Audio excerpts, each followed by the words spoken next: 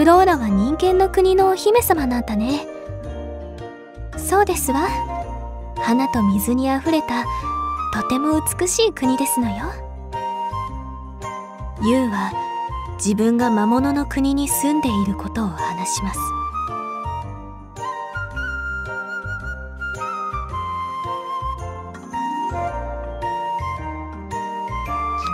フローラは最初はびっくりしていましたがすぐにその話を信じます。魔物の中には穏やかな心を持つ方もいるという話は聞いたことがありますわ。途中に通った魔物の村の人たちも穏やかでしたしただお父様や周りの家来たちは魔物は皆凶暴なものだと信じ込んでいますわ。そうなんだ。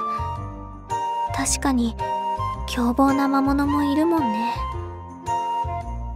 ユウは残念そうにうなずきます。いえそれだけではない理由がありますの。私が願いの泉に来たのもその理由のためですわ。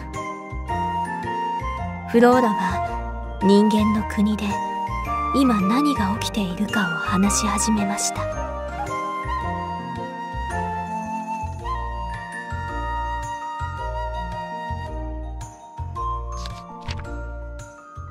かつて魔王軍に攻め込まれ支配されそうになっていた人間の国。勇者が魔王を打ち倒したことで国は救われたが魔王や魔物への恐怖は人々の記憶に強く刻まれた。それからしばらくの年月の間人間たちは平和に暮らしていた。しかしある時から不穏な噂が国中に広がり始める。魔王が復活し再び人間の国を攻めるために力を蓄えているというのだ。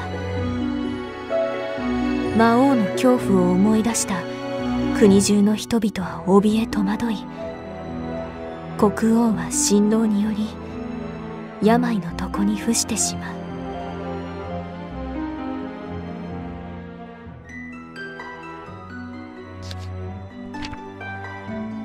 国の危機に心を痛めたフローラは非力な自分でもできることを必死に考え幼い頃に聞いた願いの泉の伝説のことを思い出す。そして望みが薄いとは知りながら泉を探す旅に出たのであっ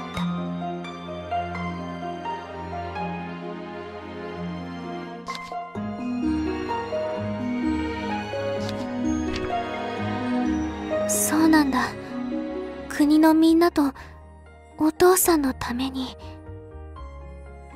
この試練を乗り越えればみんなの不安を取り除くことができるのです。休憩はもう十分ですわね。さあ参りましょう。ユウうん。行こう。二人は再び歩み出します。